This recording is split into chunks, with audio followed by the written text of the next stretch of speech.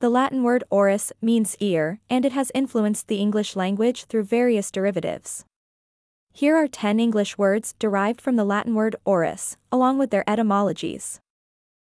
Aural, this term relates to the sense of hearing or the ears. It is derived from the Latin word auris. Auricle, referring to the external part of the ear, the auricle comes from the Latin word auricula, a diminutive form of auris.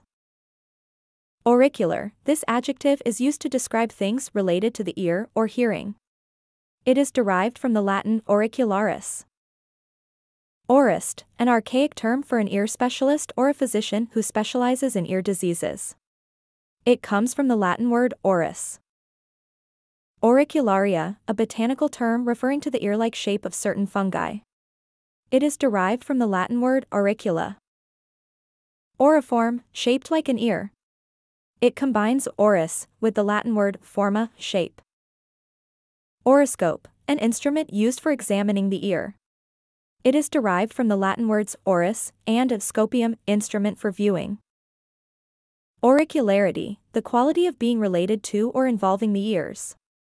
It comes from the Latin word auricularis. Aurigraphy, the art or practice of cleaning the ears. It combines auris with the Greek word grapho, to write or to record. Finally, auralize invites us to imagine sounds.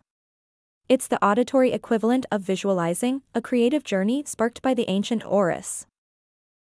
These words showcase how the Latin root auris has been adapted and evolved into various forms in the English language, capturing different aspects of the concept of the ear or hearing. Thank you for watching. Please subscribe.